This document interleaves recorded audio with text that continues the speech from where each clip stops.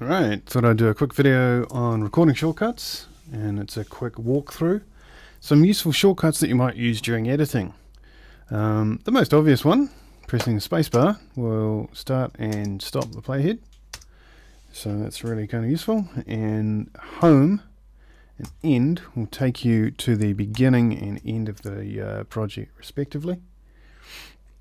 And then of course I'm now just using the arrow key just left and right just to, to move and if I press shift then I can move it faster. Um, what else have we got here? Oh yeah one thing I do use quite a bit I'm, I'm by default snapping is on. So you see that the playhead is snapping to the beginning of my very exciting hello text. If I press and hold option then snapping is temporarily disabled uh, so that's quite useful if you if you do want to come in just here to perform a cut, for example. Uh, okay, what else have we got? Scrubbing mode, well, we're already in that. We can get to that using Command 1.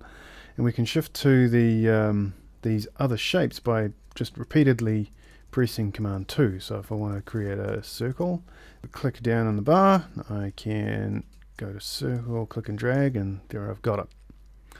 Uh, now another one is your standard cut copy paste. If I wanted lots of circles I could press Command C, paste, paste, paste, paste. and get lots of circles. And like likewise select a bunch of them and Control X will get rid of them. Um, and that I think is about it. The last one would be uh, Command W. You can just close the window per normal using Command W. You uh, don't have to press the close button. So Command W and you're back into iShowU Instant.